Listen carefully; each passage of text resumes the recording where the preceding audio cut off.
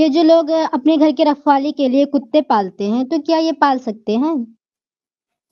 आ, बिल्कुल पाल सकते हैं। अल्लाह के नबी वसल्लम की इस सिलसिले में वाज हदीस है। अल्लाह के नबी वसल्लम ने कुत्ता रखने से मना फरमाया मगर चंद मकासिद के तहत कुत्ता रखने की इजाज़त दी। उन्हीं मकासिद में से एक है घर की रखवाली करने के लिए। खेती की रखवाली करने के लिए मवेशियों की रखवाली करने के लिए शिकार के लिए तो इन मकासिद के लिए अगर कोई कुत्ता रख रहा है तो ये जायज़ है और सराहत के साथ अल्लाह के नबी वसल्लम की जानब से आ, इस पर जो है इजाज़त आई है। नहीं से कुछ लोग बोलते कि अगर वो घर के अंदर चला गया तो फिर रोजी नहीं आती फरिश्ते उस घर में नहीं आते।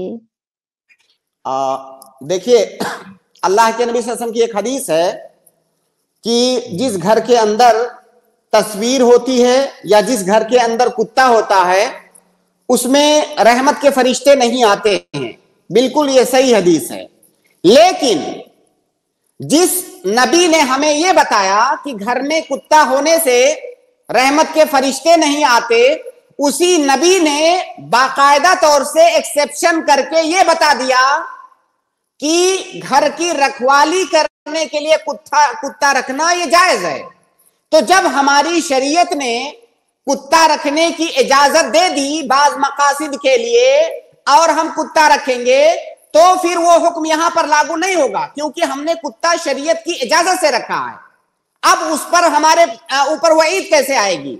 एक कायदा है शरीयत के अंदर कि मा तरतबा अला मदून फलैसा बेमदमून शरीयत जिस चीज़ की इजाज़त देती है, हम, हमें उस चीज़ पर हमारा मुआवजा नहीं करती है। जब शरीयत ने इजाज़त दे दिया तो हमारा मुआवजा नहीं होगा। वो कुत्ता जो शरीयत की इजाज़त के बगैर रखा जाए घर के अंदर तो रहमत के फरिश्ते नहीं आएँगे। जब हमें इजाज़त दे दी गई तो फिर ये वईद हमारे लिए नहीं है।